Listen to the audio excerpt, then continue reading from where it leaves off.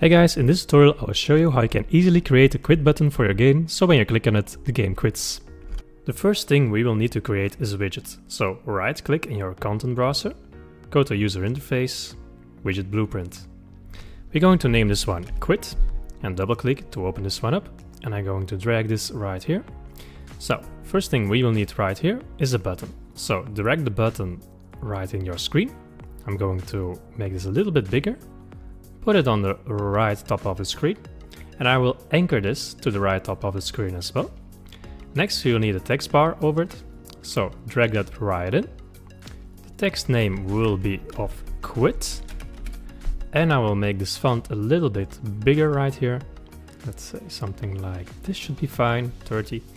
And then hit compile, and this one is ready to be clicked on. So once again, go to button, and then we need to enter this one on clicked, hit the plus icon. So when is this quit? When this is clicked, I want my game to quit. So drag and hit quit game. So hit compile. Now I need to call this widget. So I go to my third person example. I hit my third person character and I edit this blueprint. So in the event graph, I want to start this widget as soon as my game begins to play.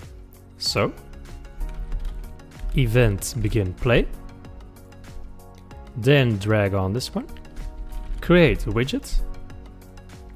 The widget we created was quit, so click the arrow, hit quit. I want to show this on my screen, so in my viewport I will drag this one out.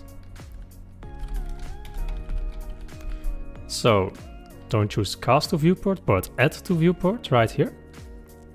And also return value to target itself. And hit compile right now when I play save. I can see a quit button on the right top of my screen. You can hit the shift F1 key, so you can hit this one and quit your game. Now, if you want to show your mouse cursor while you are playing, there's an easy solution for that. Just right click here, get player controller,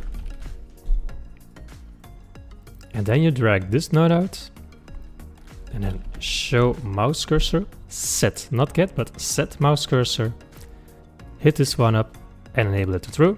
So right now when you play your game, you can play your game, but also have your mouse and you can enable the quit button. This is how you can easily create a quit button for your game in Unreal Engine.